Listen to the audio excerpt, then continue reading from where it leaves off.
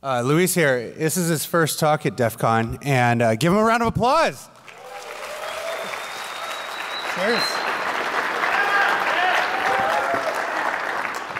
And uh, he wants to talk to you about exploiting cache services, cache servers. Um, so uh, I'm going to let him go and uh, enjoy. All right. So Thanks everyone for coming. Last day of DEF CON. Let's do this. So this is edge-side include injection, abusing caching servers into server-side request forgery, and transparent session hijacking. So I know that's a very long title, uh, meant to mention some of the many things that you can do with edge-side includes, especially when you're injecting it.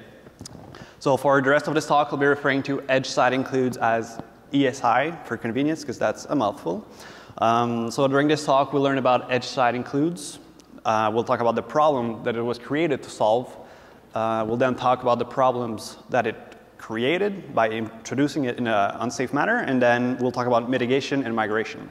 So my name is Louis Dion I work at GoSecure in Montreal, and to give some context on what ESI injection is, basically it's a new class of attacks. Of course, targets ESI-enabled caching servers, so it's not a widespread attack, uh, unlike what James Kettle presented at Black Hat two days ago. So this is really targeting ESI engines. So this was discovered by mistake, basically. Uh, one of my colleague, uh, Laurent Desaulniers at GoSecure, was tasked with reviewing the caching configuration for one of our clients. So our client, which is a large ISP, basically wanted a cache overview of the security features. And we kept seeing references to ESI. It kept coming up, edge side includes. So we're a bunch at GoSecure and we never heard about that. None of us ever heard about that. So we started looking into the documentation.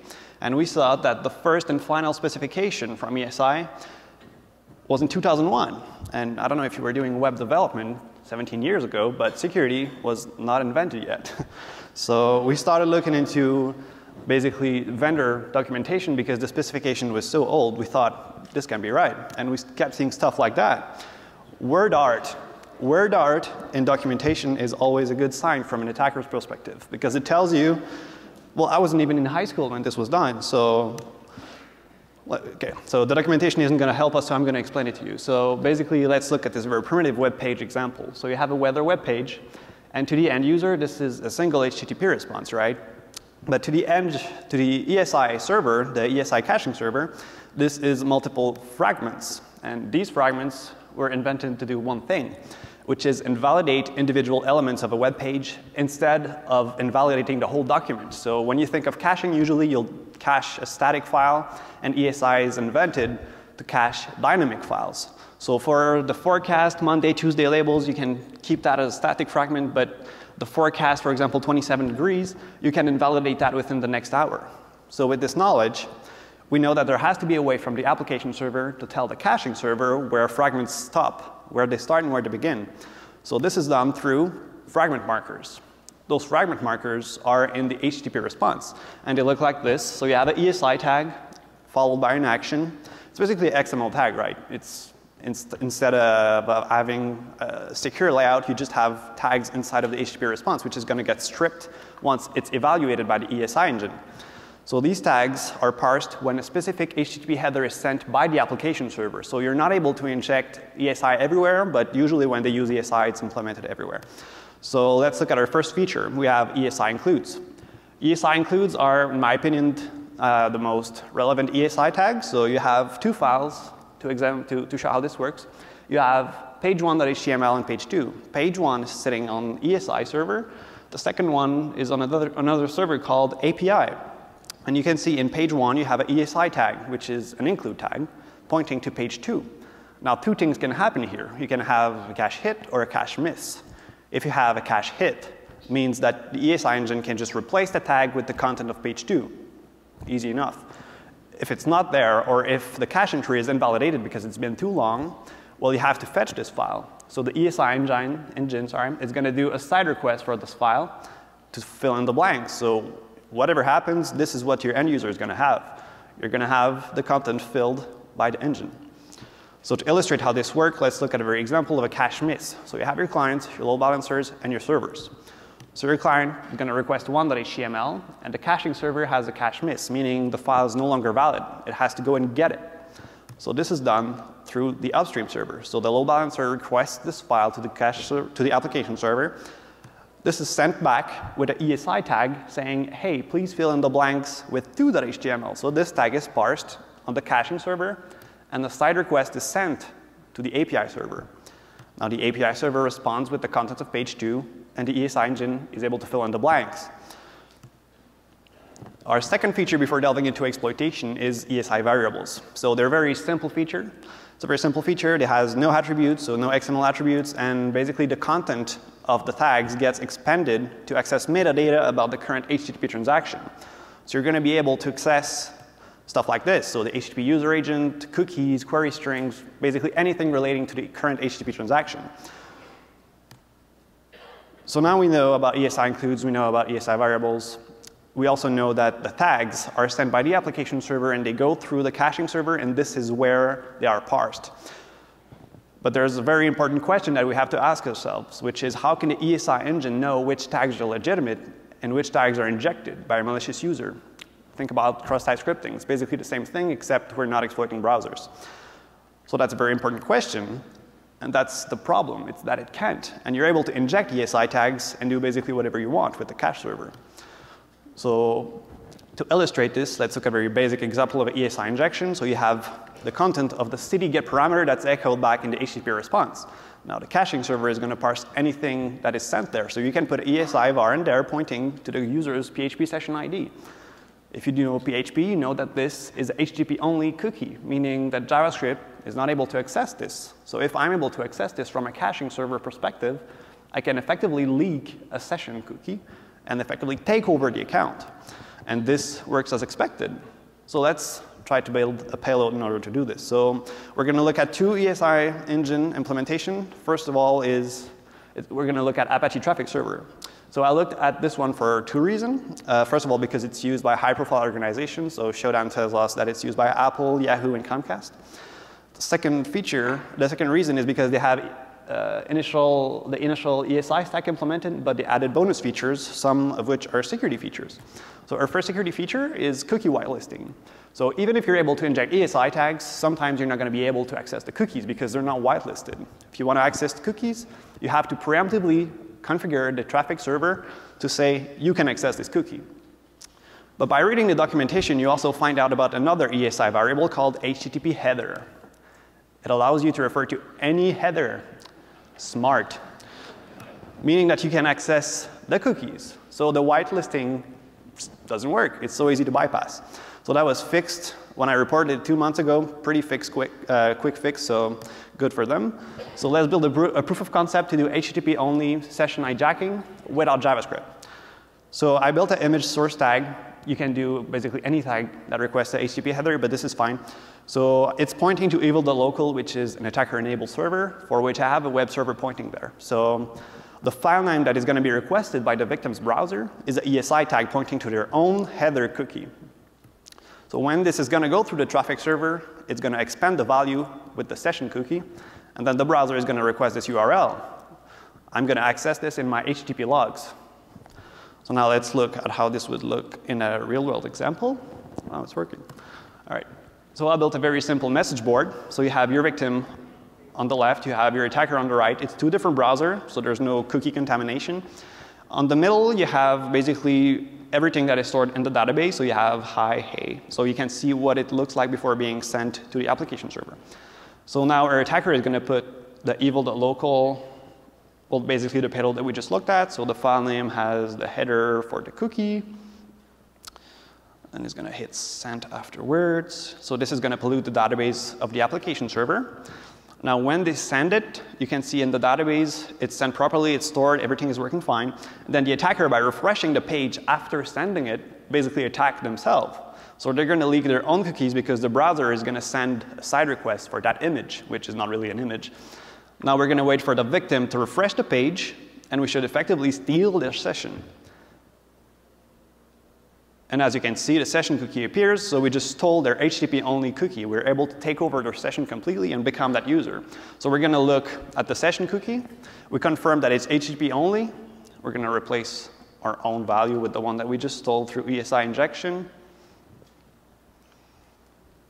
We're going to save that cookie and save it. And then once we refresh, we should become the victim. There you go. So you have HTTP only.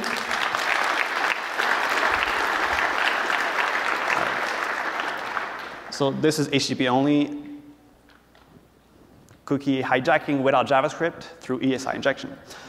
So that's nice, but you need to inject a page for which a user is going to travel to. Sometimes that's not always easy.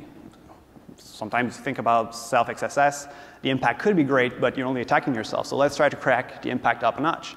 So I looked another, at another ESI implementation, which is Oracle Web Cache. So Oracle Web Cache is usually sitting on top of WebLogic application servers. It's not necessarily sitting on top of that, but we've seen it sitting on top of that. So I looked at it because it's usually high-scale application, and also because the initial ESI specification is implemented, and they also have bonus features. Unlike ATS, they went with the least secure option, which is they added the ESI inline tag. This tag is pretty easy to understand. It allows you to override the engine, the ESI, it allows the ESI engine to override any cache entry with arbitrary data. So here, we're going to override jQuery.js with arbitrary content. What a great idea. So jQuery.js is going to be filled with the content that you see here, which is basically an AJAX request. So once the user is going to refresh, the file should trigger AJAX request to our evil the local server, and this is going to get expanded, meaning that I'm going to get their cookie again because there is no uh, cookie whitelisting in Oracle Web Cache. So now we know we can overwrite file and we can make the browser do anything. So the browser is going to request this file because we took over jQuery.js. So let's look at a demonstration of this, which is already running for some reason. Um, what if I do this? All right. So we have the same application server, but now it's super safe because the sysadmin is, uh, they noticed basically that HTML was not being uh, stripped, so ESI was also being injected. Well, there was a possibility of ESI injection. Now we can see that the victim is confirming that jQuery.js exists and the content is valid, so you have jQuery 3.3.1. Now our victim is going to refresh. Uh, the attacker is going to put, sorry, a payload just to see if HTML encoding or escaping is working. And as you can see, the attacker is no longer able to put HTML char set, meaning that ESI injection is effectively mitigated. So that's a problem for an attacker's perspective. Now the attacker sees a new feature, which is a user list. This user list will reflect anything that is in the search box. So that's a pretty good vector for either self-XSS or ESI injection. And we can see here that HTML is not escaped. So we're able to put our ESI payload in there, which is going to override jQuery.js. So the attacker puts it there, submits it, it's echoed back in the HTTP response, and now if everything works properly, jQuery.js should be overwritten. Now the attacker has effectively polluted jQuery.js. Nice. Now the victim can just refresh the page, and once anyone refreshes any page on this website, they're going to send us their cookie. So there you go. We just overwrote an arbitrary file with arbitrary content, meaning I can either deface the website and steal anyone's session using ESI. So that was basically uh, proof of concept to override arbitrary cache entries and leak HTTP only cookies. You can use JavaScript, but as you can see, it's not really necessary. So now let's talk about mitigation. So if you like web application firewalls, you have mod security. Uh, it's a pretty popular product. It's gotten way better in the last years. And if you use the OWASP core rule set, you're good for ESI. We talked with one of the developers of uh, the mod security team, and they basically said, we already strip anything that is XML-like, which includes the, the char set for ESI, so you're good with that. If you don't want to use a WAF, or if you don't use Apache, you can use proactive escaping. And what I mean by proactive escaping is you might think that since you're okay, like you're escaping HTML everywhere, so ESI is the same char set, I should be good. Well, not necessarily, because when you think about it, contextualized effort of escaping will often ignore HTML and JSON, meaning that HTML is never escaped in JSON because the content type is already telling the browser, don't interpret this as HTML. But we're not exploiting browsers. We're exploiting cache servers. So here, I can put an ESI include tag in a JSON response, and it should work fine, right? There's just one small problem. We have an invalid ESI tag because of those backslashes, because of the double quotes. But ESI engines have a very flexible syntax, which is nice, and I can just drop them. So this will allow me to do server-side request forgery in a JSON response. Let's look at a brief example of this. So you have effective REST API sitting on slash API slash me, which is going to respond to basically a small JSON payload. So you see that my full name here is Luizio Marcel, and I can overwrite this with an ESI include tag. This ESI include tag is going to say, please fetch REST server slash server status, which is just some server sitting on the local area network of the cache server. And you can see in the response, in the reddish area, it went ahead and fetched that file for me, meaning that I can do server-side request forgery with ESI includes.